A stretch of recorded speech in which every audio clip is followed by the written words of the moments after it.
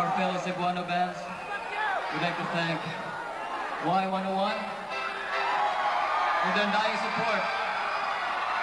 Also, the organizers and producers of this concert. Thank you. Just remember that we'll always be with you